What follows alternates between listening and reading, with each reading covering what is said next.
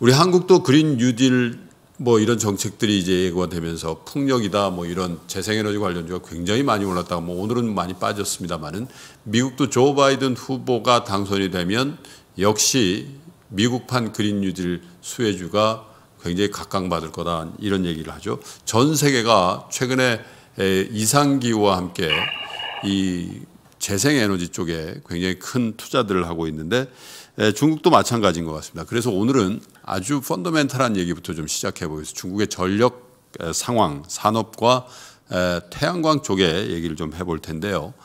주로 저희 시간에 증권회사 이제 애널리스트 분들을 많이 모시게 됩니다만은 오늘은 특별히 미래 에셋 자산 운용에 홍콩의 펀 매니저를 하고 계시는 이필상 상무를 카메라를 통해서 화상을 통해서 연결을 한번 해보도록 하겠습니다. 이상무님 나와 계시죠? 네, 안녕하세요. 이필상입니다. 네, 고맙습니다. 이거 퇴근하셨을 네, 시간인데 그 뒷배경을 보니까 아직 사무실인 모양이십니다. 네, 네, 네. 감사합니다. 좀 늦게 늦게까지 남아 있습니다. 시차가 한 시간이 나던가요? 네, 그렇습니다. 지금 여기는 8시 30분 정도 네. 지나고 있습니다. 그래요. 그쪽에 코로나19 상황은 어떻습니까? 홍콩은 시위에 관련된 뉴스는 많아, 많이 있었던 건데 코로나에 대한 뉴스는 별로 없었던 것 같아요. 뭐 그만큼 뭐 상대적으로 잘 지나간 것 같아요. 지금 저희 홍콩에서는 local에서는 third wave라고 얘기는 하는데 네. 어, 그 그렇게 심하지는 않았고요. 그리고 사실상 지난 일주일 사이에는 daily 확진자 수가 아, 거의 없거나 한 자릿수였거든요. 네. 그래서 사실상 지금 관리가 잘 되고 있고요. 네. 어, 사실 길거리에 나가거나 MTR 타면은 거의 모든 사람이 마스크를 착용을 해요. 원래부터 마스크를 좀 쓰는 분위기였죠, 홍콩은. 아, 그럼요. 왜냐하면 2002년 때 사스를 통해서 워낙 그때 그 상처가 있기 때문에 네. 그거에 대한 트라우마 때문에 어, 이번에 시작하자마자 거의 모든 사람들이 마스크를 썼죠. 예. 그래서 그 덕분에 전염 그 확산이 많이 없었던 것 같습니다. 그렇군요. 상무님 소개를 좀 해주십시오. 제가 미래셋 자산운용 홍콩에 계시는 입실 상무님이라고 소개를 했는데 어떤 일을 하시는지. 네. 예. 어, 저는 이제 운용력이고요. 어, 저희 미래셋에서 판매되는 차이나 펀드들, 예. 그다음에 아시아 펀드들을 실제로 리서치하고 운영하는 역할을 하고 있습니다. 저희 팀 리서치 본부의 팀원들과 함께 어, 실제 펀드를 운영을 하고 있고요. 네. 어, 2010년부터 홍콩에서 일했으니까 지금 11년 차입니다. 11년 차 홍콩에서 중국을 포함한 아시아 10여 개 국가들에 대한 어, 리서치를 해왔고요. 기업 발굴하고 기업 투자하는 업무를 어, 줄곧 해왔습니다. 그러시군요. 네. 어, 완전 이제 홍콩이 더 익숙하실 수 있을 것 같고 예, 지금 현재로만 보면 중국에 완전히 이제 specialize되어 있는 운용력이신데 증권회사 애널리스트를 주로 모셨다는 말씀을 하, 드렸습니다만은 조금 다른 얘기를 해주실 것 같아요. 아, 네. 아, 뭐, 뭐, 증권사 애널리스트 분들도 굉장히 훌륭하신 분석을 네. 많이 하시지만, 저는 좀더 generalist에 가깝죠. 모든 네. 산업을 다 보고, 또 한 국가가 아니라 글로벌 관점에서 어, 다 보는 것이죠. 그래 그 안에서 제일 좋은 기업들, 가장 경쟁력 있는 기업들, 또 성장 성장성이 특출난 기업들을 선정하고 발굴하고 어, 투자하는 그런 역할을 했기 때문에 어, 좀 더 포괄적으로 아, 그리고 좀 뭐랄까요, 이제 큰 맥락 안에서 이게 어떻게 흘러왔고 앞으로 이게 어떻게 갈지에 대해서 네. 그런 얘기를 좀 더 많이 드릴 수 있을 것 같습니다. 그래요. 아무래도 네. 뭐 아시아 전체보다는 중국 쪽에 저도 그렇고 우리 투자자 여러분들 관심이 가는 것 같습니다만. 네, 네, 네. 아무래도 중국이 워낙 비중이 크고요. 근데 오늘 뭐 나중에 시간이 되면 또 아시아의 재밌는 얘기도 많이 드릴 텐데 어, 우선 중국 중심으로 말씀을 드리도록 하겠습니다. 네. 자 오늘 먼저 중국의 수력 발전 산업, 태양광 뭐 발전 산업 전반적으로 말씀을 해 주실 것 같은데 사실 중국의 수력 발전 하면은 그 댐 얘기를 빼놓을 수가 없을 것 같아요. 지난번에 큰 홍수가 있을 때도 외신에 많이 보도가 되기도 했는데요. 그, 그 얘기부터 좀 시작을 해볼까요? 네네네. 지금 혹시 그 제가 공유드린 자료 보고 계신가요? 예, 한번 띄워보겠습니다. 네. 예, 보고 계신 걸로 알고 있고. 자, 어... 잠깐만요. 현지에서 아? 띄워 주셔야 될 것 같은데요. 예, 네, 사모님이 잠시만요. 예, 클릭을 해주시면 좋을 것 같습니다. 예, 예, 되고 있습니다. 예, 지금 에, 그 파트 1 중국에서 샨샤 때문에 예. 이게 나오고 있네요. 네네네. 예. 이게 이게 또 어, 같이 좀 나누고 싶은 얘기이기도 한데요. 예. 지난 7월부터 해서 중국 양쯔강에 있는 대형 댐이죠. 초대형 댐 산샤 댐에 어, 홍수 주의보가 있었고 예. 그거 관리하느라고 어려움을 겪고 있다. 뭐 이재민이 많이 있고 어, 이거 범람할지도 모른다. 이런 식의 뉴스 및 루머 비슷한 것들이 많이 있었죠. 많이 있었습니다. 그런 예. 얘기들이 예, 소개가 많이 됐었는데 어, 거기서 멈추면 안 되는 것 같아요. 저희 투자자들은 거기서 멈추면 안 되고 예. 이게 산사댐 아, 이, 이 이게 이, 이 삼엽댐이죠. 삼엽댐이 어떤 우리한테 의미가 있는지, 중국에선 어떤 의미가 있는지, 중국 전력 산업에서 어떤 의미가 있는지를 한번 짚고 확인할 필요가 있습니다. 네. 그래서 제가 오늘 좀 그 얘기를 드릴게요.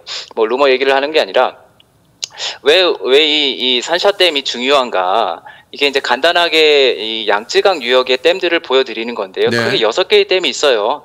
어, 그 중에서 두 개는 이제 곧 완성되는 것이고요. 이, 이 중에서 그 여기 밑에 제가 동그라미로 표시한 부분이 이제 산샤댐인데 예. 굉장히 큰 댐입니다. 보시면 이게 그 발전 용량이 무려 22기가 와트에 달합니다. 세계에서 가장 잘- 큰 댐이군요. 그리고요, 이, 이게 저희가 이제 원자력을 많이 생각하시잖아요. 원자력과 비교해서도 어마어마하게 큰 거예요. 저희가 보통 원자력이 예전에는 뭐 500기가에서 지금 1기가 정도 되거든요. 그렇습니다. 그러니까 원자력이 요즘 세대로 봤을 때 한 20개 이상의 원자력이 한 곳에 있는 것이죠. 산샤댐 그러니까 하나에 어마하게 네, 그렇죠. 산사댐 아, 산사댐 하나에서 어, 그 갖고 있는 발전 용량이 이렇게 큰 것이죠. 예. 그래서 이게 보시면은 지금 이 페이지에서 보여드리는 게 뭐냐면 전 세계에서 제일 발전 용량이 큰 수력 발전소를 나열을 했더니 이 중에서 어, 중국계 엄청 많은 것이죠. 1등부터 2등, 그 다음에 4등, 그 다음에 7등, 11등까지 중국의 대형 수력 발전댐이 많이 있는 겁니다. 네. 이거는 어떤 의미가 하냐면 어, 중국에서 수력 발전이 상당히 중요했다는 것을 의미를 합니다. 우리 한국인들은요 수력 발전을 잘 모르세요. 왜냐하면 한국 발전에서 하- 발전 믹스에서 수력이 차지하는 비중이 1% 정도 되거든요. 예. 그 의미가 없죠. 음. 한국은 주로 석탄과 원자력 중심의 발전 어, 믹스를 가지고 있습니다. 이 네. 두 개가 동력에 대해서 한국의 어, 경제의 에, 경제를 이끌어왔던 것인데 중국은 좀 다르죠. 중국은 어, 수력 발전이 상당히 큽니다. 아, 20, 어, 18% 한때는 20% 넘을 정도로 예. 수력 발전에 의존을 많이 했었고요. 아, 네, 물론 이거보다 더 중요한 거는 석탄 발전이죠. 화력 석탄 화력 발전이 거의 70% 이상이 됩니다. 그래서 네. 중국의 발전원은 이 두 가지가 핵심이었습니다. 그러네요. 그리고 이번에 이 산사댐으로서 우리 이제 우리한테 드러난 거는 중국의 수력 발전의 어떤 그 거대함, 그 비중 높은 비중을 다시 한번 보여주는 것인데요. 여기 보시면은 태양광 저희가 그렇게 많이 얘기하는데 중국에서 차지하는 비중이 지금 3%밖에 안 되죠. 그 다음에 여기 원자력도 표시가 되어 있는데 5%. 원자력도 한 4.네 5% 미만 정도이고. 예. 그러니까 중국이라는 나라는 발전 전력을 어떻게 생산했느냐? 그냥 석탄 플러스 수력이었습니다. 네. 근데 이게 좋았던 건 뭐냐면요. 중국에서 이 두 가지가 상당히 저렴한 발전원이었습니다. 예. 비용적으로 어, 중국에 석탄이 많았고요. 그 다음에 수력은요 어느 나라나 그렇지만 수력 발전은 가장 저렴한 발전원 중에 하나입니다. 예. 이두 개가 있었으니까요. 중국에서 어떤 일이 있었냐면 이, 그 이것 때문에 중국이 전 세계에서 가장 저렴한 발, 그 전기를 갖게 된 겁니다. 여기 보시면은 물론 이게 좀 통계를 아주 애플 테이플로 비교하기는 어렵습니다만 대략 보면은 주요 국가별 어, 보이잖아요. 어, 독일, 유럽 국가들은 너무 비싸요, 지금 전기가. 그러니까 유럽이 지금, 어, 진짜 산업을 고도화하지 않으면은 제조업을 할 수 없는 지경까지 갔고요. 그렇군요. 독일이 가장 비싸다는 것도 굉장히 이례적이네요. 근데 독일이란 나라는 기본적으로 19세기에 석탄을 쓴 이후로 새로운 발전원을 갖지를 못했어요. 원자력을 갖고 있다가 아시다시피 이미 2000년대부터 그건 사실 오래된 거죠. 체르노빌이 터진 80, 80년대 이후부터 독일에서는 탈원전을 해왔기 때문에 어쩔 수 없이 고비용 구조로 가는 거죠. 근데 네. 이거를 어, 국민들이 감당을 한 거죠. 독일 사람들이 그렇게 합의가 된 겁니다. 어, 근데 전반적으로 유럽이 비싸요. 기, 본적으로 유럽이라는 지역은 에너지원이 많은 지역이 아닙니다. 예. 반면에 여기 중간에 보시면은 후반부에 미국이 보이죠. 그러니까 미국이 0.13 그러니까 킬로와트 아워당 13센트 정도의 저렴한 가격에 전력을 공급하고 있어요. 네. 그러니까 선진국인데 아, 일본이나 유럽에 비해서 여전히 저렴한 가격에 네. 에너지를 공급하고 있습니다. 그러니까 이게 미국의 제조업이 될 수도 있지 않을까라는 어, 어떤 기대 혹은 추측을 할 수 있는 근거 중에 하나입니다. 어, 얘는 전기도 싸네 이런 거죠. 그 미국이 전기를 싸게 갖게 된 이유는 당연히 미국이 에너지가 풍부합니다. 네. 특히 어, 10년 전부터 셰일가스 혁명이 일어나면서 가스 가격이 폭락을 했죠. 그렇죠. 그래서 지금 이 미국이라는 나라가 가스를 통해서 에너지 가격을 계속 낮추고 있습니다. 예. 이거는 뭐, 아, 뭐, 어떻게 보면 하늘이 내려준 어떤 자원인데, 아무튼 미국, 미국이라는 나라는 그런 거를 이용하고 있는 것이고요. 한국도 보시면은 에너지가 굉장히 가격이 저렴한 편이에요. 예, 글로벌. 이거는 진짜 저희가 노력을 많이 한 거죠. 왜냐? 저희는 에너지가 없는데도 불구하고, 아, 에너지 가격을 이 정도 수준까지 네. 내렸다는 것은 사실은 대단한 거라고 생각을 합니다. 그런데, 그럼에도 불구하고 전 세계에서 지금 가장 전력 가격이 낮은 나라는 여전히 아, 중국입니다. 그러니까 아, 이게 중국이란. 나라에 지난 20년 동안 중국이 성장할 때 제조업 기반에서 어, 이제는 이제 고도화되는 중공업 중심으로 발전하는 배경 중에 하나는 전기가 싸서입니다. 전기가 싸서이고요. 어, 이게 중국 경제 산업의 큰 기반이 되는 것이죠. 거기다 플러스해서 인력이 어, 양질의 저렴한 인력이 있다는 거. 이 두 가지가 결합이 됐기 때문에 그렇군요. 중국의 산업이 지금까지 올라왔던 것이죠. 그래서 근데 이거를 잃었던 것이 뭐냐? 바로 석탄입니다. 네, 석탄이 있었기 때문에 중국이 이 전기료를 이렇게까지 낮출 수가 있었던 예. 겁니다. 여기 보시면은 이 중국의 북부 서부 지역에 석탄이 많아요. 여기 보시면은 이제 빨간색으로 칠해진 것으로 석탄의 부존량이 많은 것인데 뭐 산시라든지 이너몽골리아, 뭐 신장도 그렇고 어 주로 이제 시베이 지배 지방에 석탄이 많아요. 네. 근데 이거는 저희가 어떤 걸로 잘 이해하시면 되냐면 겨울에 되면 중국에서 미세먼지가 많이 오잖아요. 그렇죠. 근데 미세먼지를 발생하는 게 뭐냐면 이 철광 산업에서 굉장히 많이 발생을 합니다. 예. 근데 철광 산업에서 어, 중요한 것 중에 하나는 석탄이고요. 물론 네. 이제 원 그 철광석이 필요하지만 거기서 또 석탄 코크스가 필요하지 않습니까? 그거를 또 이쪽에서 많이 생산을 하기 때문에 이 베이징 인근에 아, 그렇기 때문에 여기 이제 어, 베이징 인근에 제가 잠깐 표시를 한번 해 여기 베이징 인근에 어, 그 철강 회사들이 많았던 것이죠. 예. 왜냐 인근에 석탄을 구하기가 그렇군요. 쉬우니까. 네, 그다음에 해외에서 이제 그 해상을 통해 가지고 철광석을 가져왔던 것이고요. 예. 그게 결합이 됐기 때문에 이 베이징 주변에 철강 회사들이 많았고 그게 결국 겨울철에 저희한테 넘어오는 것이죠. 네. 근데 여하간 어, 중국은 석탄을 굉장히 많이 갖고 있어요. 그래서 뭐 앞으로도 뭐, 뭐, 뭐 상당히 오랫동안 쓸 수 있는 양을 가지고 있고 예. 어, 반면에 중국은 다른 자원이 없었어요. 음. 가스도 없고 그다음에 원자력을 개발할 수 있는 어떤 정치적인 여유도 없었고 어, 그런 상황이었기 때문에 석탄에 의존해서 발전 산업을 구성을 했습니다. 네. 네, 그, 그, 그, 근데 또 말씀드렸듯이 석탄이라고 하는 것이 주로 이쪽 북부에 있는 거거든요. 어, 북부 서북 지역에 있는데 문제는 뭐냐? 여기 보시면은 이 밑에 있는 이 남쪽 지역이요. 예. 네. 여기 여기가 바로 광동성이 여기 제가 이제 살고 있는 홍콩인데, 홍콩이고요. 네, 네, 여기는 석탄이 없어요. 광동성에는. 예. 근데 생각해 보시면 지난 2, 30년 동안 가장 경제가 활성화됐던 거기죠. 지역 중에 하나가 바로 홍콩이죠. 예. 아니면 여기 상해가 되는 것인데 예. 이 홍콩에서는 이 광동성에는요 석탄이 없기 때문에 어, 석탄을 북쪽에서 가져와야 돼요. 아니면 해외에서 수입을 하거나 그 가격이 어, 거의 두 배 가까이 차이가 납니다. 네. 석탄 가격이. 그러니까 남부 지역에서는 석탄 화력 발전을 하더라도 비용이 많이 드는 것이죠. 그러니까. 북부 중국 북부와 같은 어떤 원가 구조를 가져갈 수 없었기 때문에 고심을 하다가 예. 어떤 일을 했느냐? 어, 여기 이제 한 요 정도쯤에 이제 삼엽댐, 산사댐이 있는 건데 여기서 전기를 끌어오려고 한 겁니다. 그러니까 아까 말씀드린 대로 22기가 정도의 대형 발전 용량을 갖고 있는 삼엽댐에 대해서 논란이 많지 않았겠습니까? 그렇죠. 논란이 많지 않았겠습니까? 뭐 환경에 대한 이슈도 많을 것이고 이, 이재민도 얼마나 많았겠습니까? 그럼에도 불구하고 이게 추진이 된 거죠. 왜냐하면 광동성 및 어, 상동, 뭐 상해, 그 다음에 저장성, 뭐 간, 장, 장소성 이런 데서 요구를 한 거죠. 아, 우리 저, 전기가 필요한데 우리가 석탄을 떼기엔 너무 비싸. 뭐 그렇다고 원자력이 되는 것도 아니고 그렇다면은 양쯔강 유역에 댐을 지어서 전기를 끌어오자. 이렇게 된 겁니다. 예. 그러니까 이런 것들이 합의가 돼서 결국 전인대를 통과했고 그 90년대 건설 기간을 거쳐서 2003년에 완공이 된 거죠. 네. 지금도요 산사댐에서 생산되는 전기의 한 40% 정도는 광동성까지 내려옵니다. 그렇군요. 예. 그래도 싼 거죠. 예. 그러니까 중국이라는 나라는 이런 식으로 북부는 석탄을 통해서 성장을 했고요. 남부 지역은 양쯔강의 수자원을 끌어다가 저렴한 가격에 또 공장을 돌린 겁니다. 네. 이러면서 중국 경제의 장기 성장을 서포팅을 한 거죠.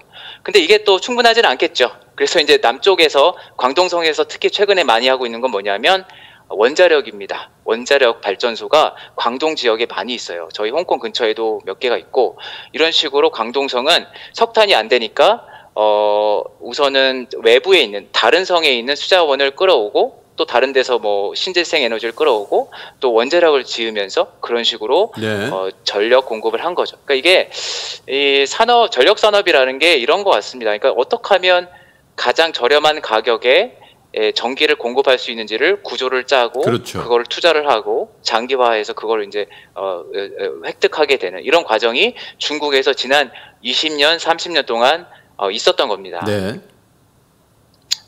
네, 그래서 산사댐을 좀 그렇게 이해하시면 더 재밌을 것 같아요. 예. 산사댐을 네 그런 관점에서 이해하시면 더 재밌을 것 같고요. 네, 요거는 제가 이제 어, 어 이게 그 잘 안 지워지는데 네, 이게 어 이게 네네 그 아까 가격을 좀 말씀드리고 싶은 건데 그러니까 네. 이런 거죠. 예, 야이 이 수자원이라는 거의 가격은 역시 저렴합니다. 그러니까 중국에서 석탄 가격이 저렴하긴 한데요. 대충 뭐 벤치마크로 한다면 그 킬로와트 아워당 0.4 위엔 정도 되는데 네. 이 산사댐에서 발생하는 생산하는 전기 가격은 훨씬 더 저렴한 거죠. 예, 그게 광동성에 갔을 때는 0.3 정도. 그러니까 석탄보다 여전히 30%가 저렴한 거예요. 예. 그러니까 그런 수력 발전이 중국 전체 발전의 한 20% 정도를 점유하고 있는 것이죠. 네. 그러니까, 그러니까 중국의 전력 가격이 낮은 겁니다. 네, 그 이런 이런 측면들을 좀 더 말씀을 드리고요. 네, 자, 그 산사댐이 광동성의 산업 발전에 굉장히 중요한 기능을 한다라는 측면, 그 저렴한 그 전기 요, 요금 이런 말씀을 해 주셨는데요. 사실 그 우리 투자자 여러분들이 관심거리는 야, 그 뭐 산사댐 건설하는 건 우리 투자하고는 별로 관심 저 거리 저 관계가 없지 않냐. 뭐 그런 생각들도 네네네. 하실 수 있을 것 같긴 해요.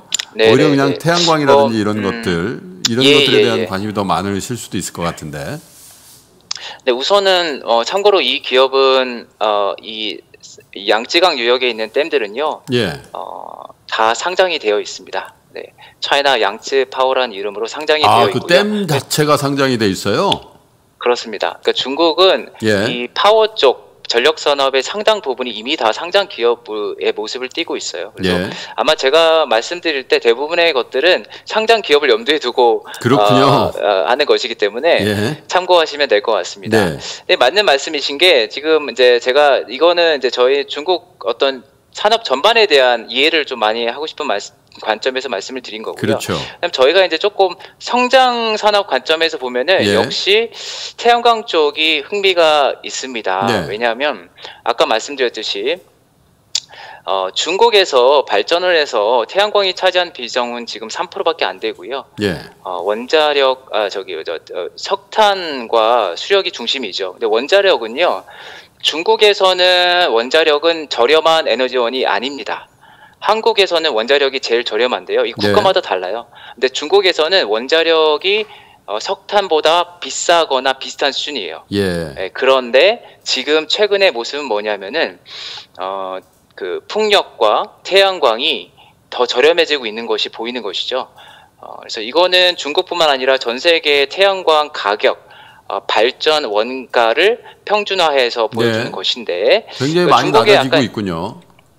예, 이거는 아마 잘 아실 거예요. 지난 10년 동안 태양광 모듈이 90%가 하락을 했고, 물론 이제 공사 현장에서의 가격까지 다 고려하면 그 정도는 아니죠. 그렇지만 지금 보면은 지금 시점에서는 어, 석탄 화력 발전보다 이미 저렴해진 국가가 상당히 많아요. 예. 뭐 대표적인 나라 같은 경우에는 인도가 그렇고요. 예. 인도가 굉장히 태양광에 좋은 국가입니다. 인도에서 태양광 원가는 석탄보다 한 30% 정도 낮아 있는 상태고요. 예. 어, 오스트레일리아도 당연히 그렇고, 어, 미국이 그렇고, 또 유럽 중에선 남부 유럽이 좀 그렇고요. 중동은 뭐 당연하죠. 사막이 많은 지역이니까.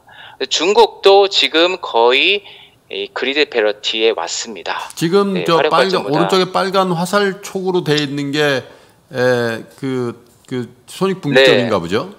화력 발전 아, 예, 화력 이거, 발전 어, 이거는- 단가 미치냐 위냐 이걸 나타내는 것 같아요. 네, 맞습니다. 이건 중국을 기준으로 본 건데요. 네. 중국에서 평균적인 화력 발전 가격, 그 테리프죠. 어가 얼마인지를 보여드리는 건데 그거에 비해서 밑에 그러니까 이게 중국 보면 글로벌리 대략 한 화력 발전은 이 정도 수준이더라고요. 한 네. 50에서 60 정도 되는데 어 그거보다 더 낮은 수준으로 나왔던 것은 그렇군요. 가격 경쟁력이 있다라는 얘기가 되겠죠. 한국은 굉장히 위에 있군요, 불행히도.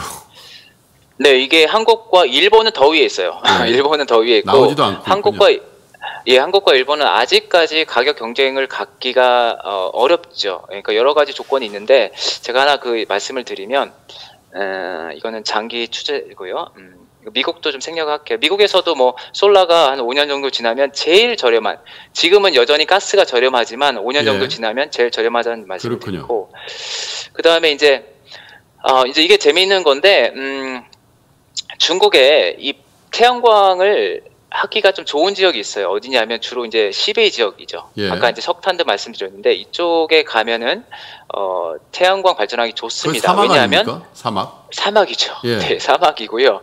이 중국의 사막은 이 두 개의 사막이 있는데 어, 타크라마칸이랑 그 고비 사막 고비 두 사막. 개가 있는데 이 두 개를 합하면요. 한국 나 한국 한국의 면적의 10배에 달합니다. 예. 네, 그 여기에 태양광의 이, 이, 이 사막의 면적의 5%의 아, 태양광 패널을 설치를 하면 중국 전역의 전기 수요를 다 충족한다고 합니다. 아, 향후에. 그러니까 중국 네네 만약에 이제 가정을 하는 거죠. 예. 그게 뭐 실현 가능하지는 않겠습니다만 이런 거죠. 그러니까 어이 이 태양광을 할 때 가장 중요한 거는 어떻게 보면은 태양광을 설치할 땅이 있어야 되는 것이고 네. 그 땅은 황무지이거나 사막일수록 좋습니다. 예. 그래서 땅의 가치가 떨어지니까 어 한국의 문제는 뭐냐면 음 한국에는 사막이 없습니다. 그렇죠. 네, 황무지가 없어요. 한국은 전국이 수려하기 때문에 경관이 네. 너무 아름답기 때문에 네. 그 자체로 가치가 있는 것이죠. 그래서 이게 태양광을 하기가 쉽지는 않은 그런 상황에 있었던 것 같아요. 그런데 그럼에도 불구하고 이게 보시다시피 계속 내려오고 있거든요. 네. 그래서 어, 땅의 어떤 그런 땅과 관련된 비용을 감수하고라도 태양광의 가격이 계속 하락할 것이기 때문에 한국 역시도 언젠가는 그리드 페럴티에 도달할 거라고 봅니다. 이건 시간의 문제이지, 어, 이건 뭐 불가능한 그런 종류의 사안은 아닌 것 같고요. 네. 뭐 여, 여하튼 저희는 이, 이 한국은 별로 중요하지가 않아요. 왜냐하면 한국의 시장이요 발전 시장에서 차지하는 비중이 전 세계에서 2%밖에 안 됩니다. 예. 어, 정말 중요한 시장은요, 중국 시장, 미국 시장, 그 다음에 인도 시장입니다. 이런 시장에서 태양광이 얼마나 경쟁력을 확보했는지가 더 중요한 것이죠. 예. 이런 나라에서 대부분 이미 어, 어, 이제 경쟁력을 확보한 것들이 확인이 되고 있고요. 그래서 그런 것들이 의미가 있는 것입니다. 상무님 풍력은 어떻습니까? 요즘 하도 한국에서 풍력 그 테마 테마가 많이 생기기도 하고 그래서요. 해상 풍력 얘기도. 저희가 지난주에 했습니다만은. 예.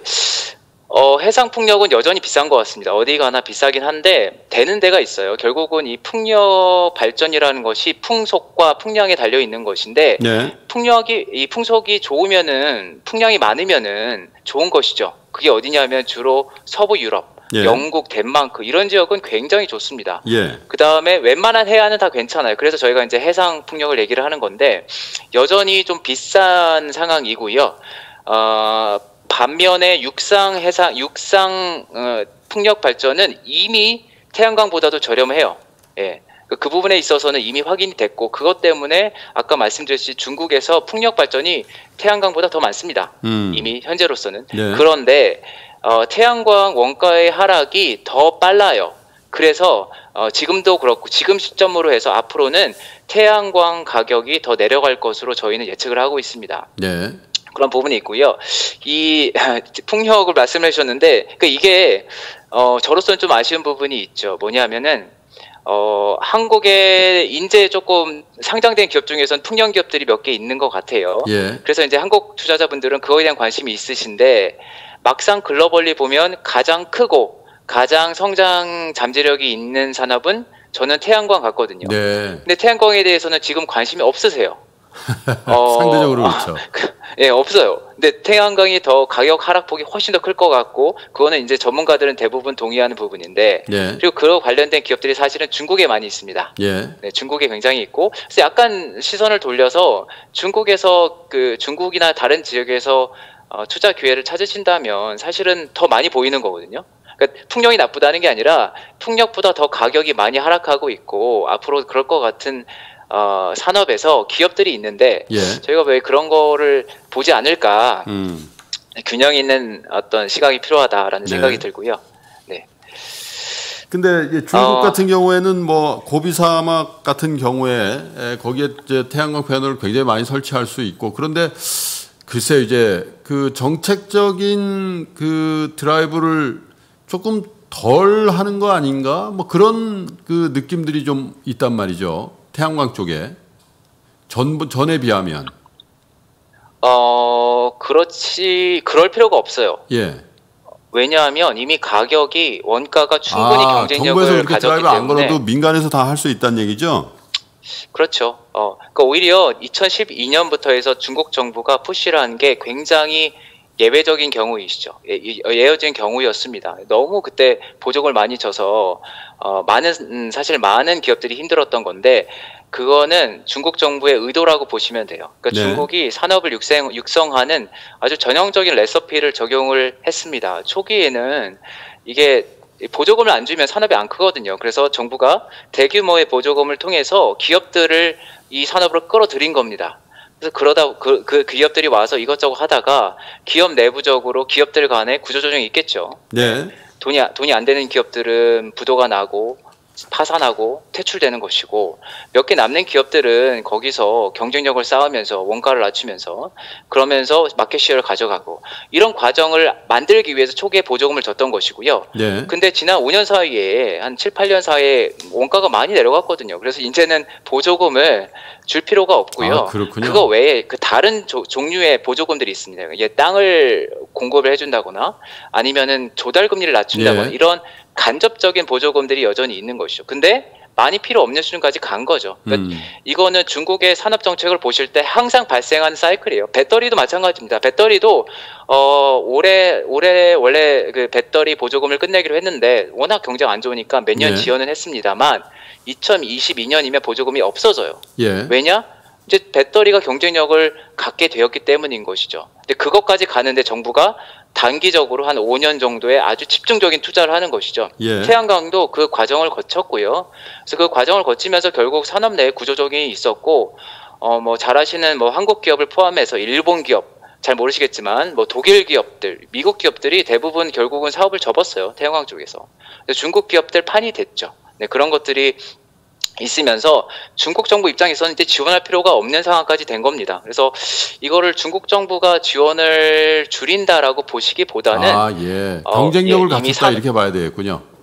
그렇죠. 예, 그래서 그런 그랬을 때는 항상 중국 정부가 오히려 반대의 작용을 하게 돼요. 그러니까 네. 내가 너를 도와줬으니까 네가 뭐 우리 사회를 위해서 뭔가를 해야 된다. 알리바바도 그런 거죠. 알리바바도 어, 에, 정부의 지원이 없었으면 안트 파이낸셜을 킬 수 없었던 건데 그렇게 해서 안트그룹이 성장을 했죠. 성장을 하고 나면 이제 중국 정부가 그거에 대한 어떤 요구를 하는 것이죠. 사회적인 기여를 해라. 예. 이런 것들이 중국 산업을 볼 때 항상 발생하는 것이고요. 그렇군요.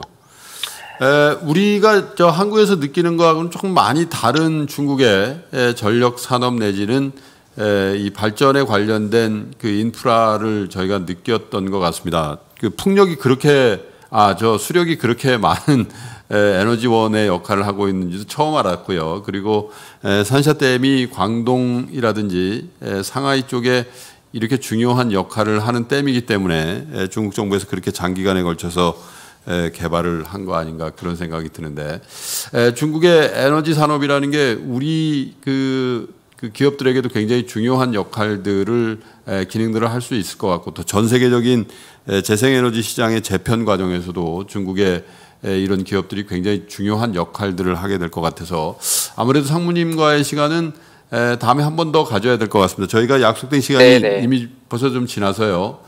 에, 더 후반부에 더 재밌고 그 저 깊은 얘기가 있는데 여기서 좀 멈추게 돼서 개인적으로 좀 아쉬운데 다음에 바쁘시지만 한 번 더 시간을 좀 내주시면 고맙겠습니다. 네, 알겠습니다. 다음에 네. 또 뵙겠습니다. 예, 네. 건강 조심하시고요. 네, 예, 다시 연락드리겠습니다. 고맙습니다. 네, 네.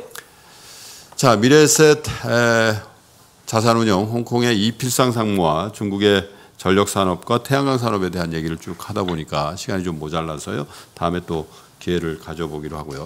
잠시 전에 말씀 드리, 들으시고요. 미주미의 장우석 본부장과 에, 변동성이 큰 구간에 들어가 있는 미국 시장 얘기를 좀 해보겠습니다.